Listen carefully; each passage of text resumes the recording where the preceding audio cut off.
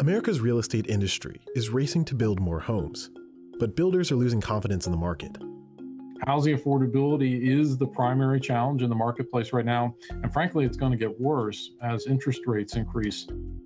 The cost of housing far exceeds what some of these essential employees, workers uh, need in order to have housing.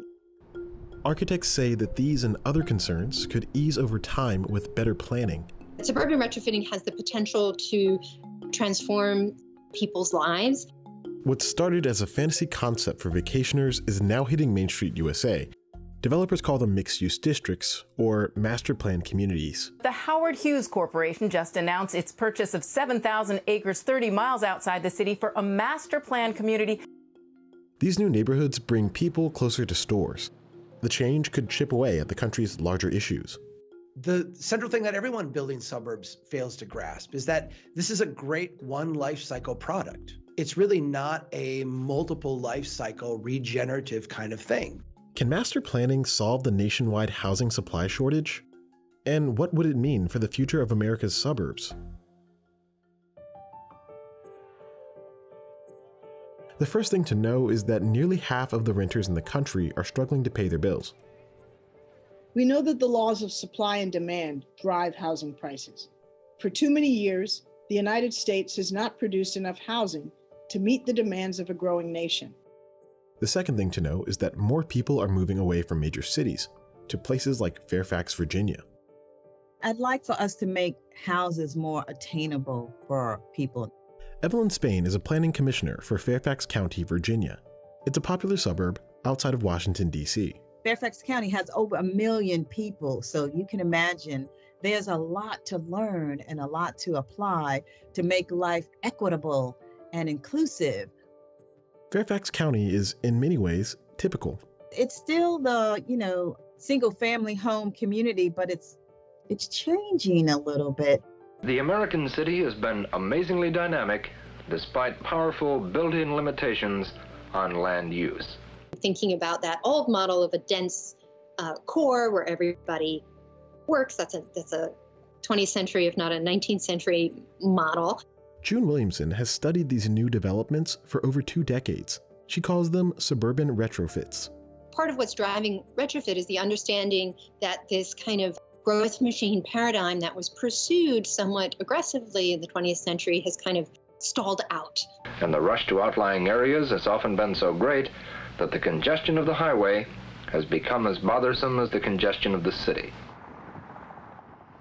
These pre-existing properties that aren't generating the tax income that they had in the past, but they've already been heavily invested in, can be very carefully rethought and have new things layered into them.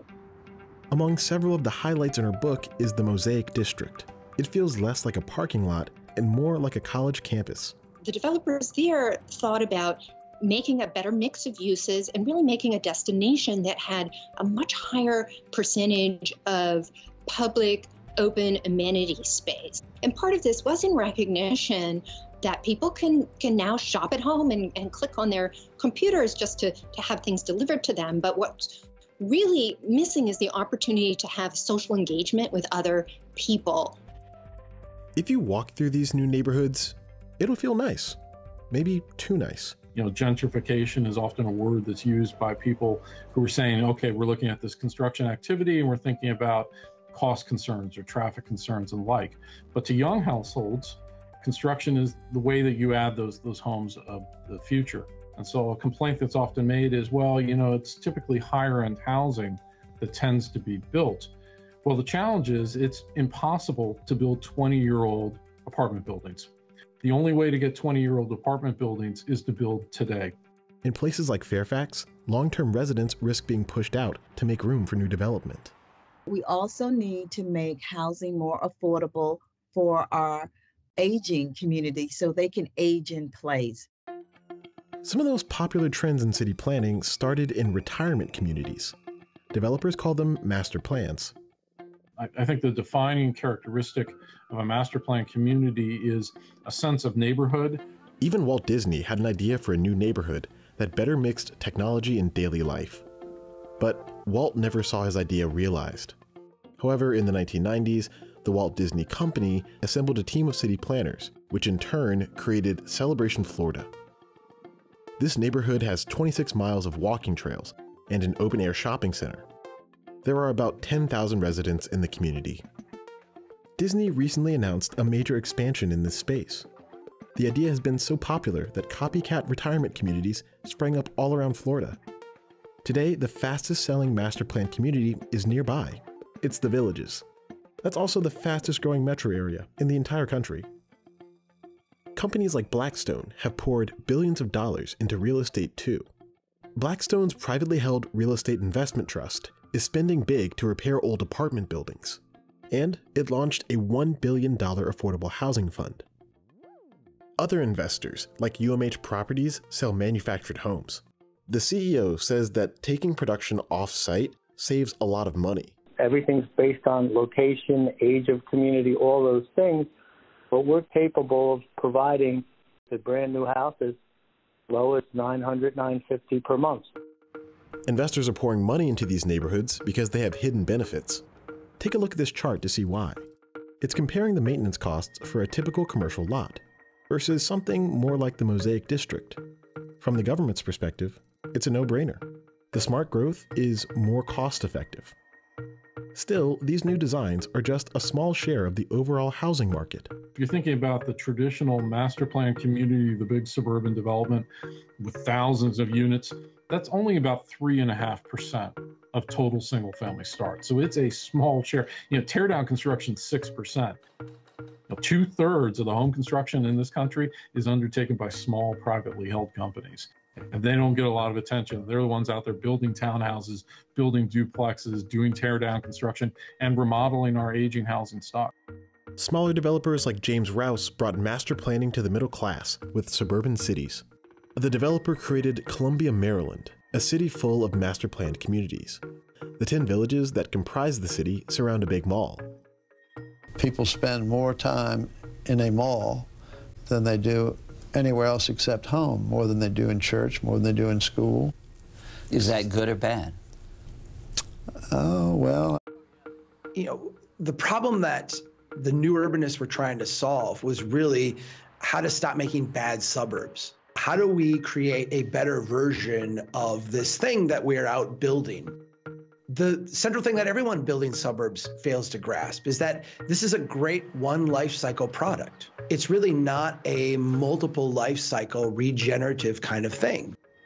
The financial community believes that adding housing to older shopping centers could have a meaningful impact, both for their bottom line and for the public good. Dead malls and sleepy retail districts have become a common issue in America. I think we often neglect to recognize that we actually have created a development pattern that is a throwaway development pattern. It is a one generation of success and prosperity. And then essentially we walk away from it and allow it to, you know, go through a cycle of decline. Maybe if it's located well enough, we'll we'll do some heroic thing to rescue it. But we're basically just allowing it to fall apart. That comes with all kinds of costs, related costs, social costs, political costs, cultural costs, economic costs. Charles Marohn has compared U.S. land development to a Ponzi scheme he made this chart to summarize the problem. After one or two life cycles, infrastructure maintenance costs add up, sinking public budgets. That can put local governments in a tough position. They have to either add debt or raise taxes. Planners believe that there's a better way. So it's really about diversifying these places and adding other choices for which we believe unmet demand does exist whether it's a medium density townhouse community that's more of an urban village or a suburban, exurban master plan community that has a large amount of housing. These are all ways of capturing economies of scale from the development and the construction perspective. If you have a business that has a bad business model, will growth help it? Yeah, well, growth will help it next quarter, next year. Like growth is going to help, but unless you fix that business model, is really just going to bankrupt a lot more people. Marohn believes that towns across the country have been covered by bailouts from higher levels of government. For example, federal spending covers the cost of capital for road building if you bring a highway to your neighborhood. As a result, Northern Virginia looks like this. And those highways impact more than the budget. Commercial developers have long tried to build neighborhoods that encourage walking over driving. There are many reasons for that. Sedentary lifestyles associated with suburban form produce heightened risks of obesity and diabetes, dying in car crashes, developing addictions, and modest amounts of physical activity, which can be encouraged and supported by how we, we build places and plan them, are a really low cost cure. Still, one development can't change the status quo. The Mosaic District is still in an exurb. The legacy of road building in Northern Virginia has made it unsafe for pedestrians in some cases. The local planning commissions want to make walking safer. What if a person has trouble walking, or what if a person has trouble hearing? How do they gain access to these new opportunities, to the, to the new housing that's coming in place in our communities? Things like that we need to be more aware of. While these new suburbs have rolled out across the country in recent years, home builders are looking at a tough market ahead. They say that sourcing quality labor and building materials has never been more difficult. Housing affordability is the primary challenge in the marketplace right now. And frankly, it's going to get worse as interest rates increase uh, this year. The ability to, to build with density, to build with scale, are ways that you can bend the cost curve in the right direction and add more housing to the market. The reality is, is we're going to have fewer road miles two decades from now than we have today. We're going to have fewer streets, fewer pipes, fewer things that we have to maintain because they're going to fall apart and we're not going to fix them because we don't have the money. Still, many are searching for solutions.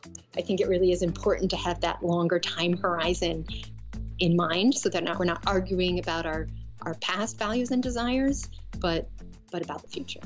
Of course, design matters. A skilled architect, a skilled urban designer can introduce these different housing types and have them blend in and appear very compatible with detached standalone houses. But to be inclusive, we need to think about everybody and how everyone is going to be affected by the new development here.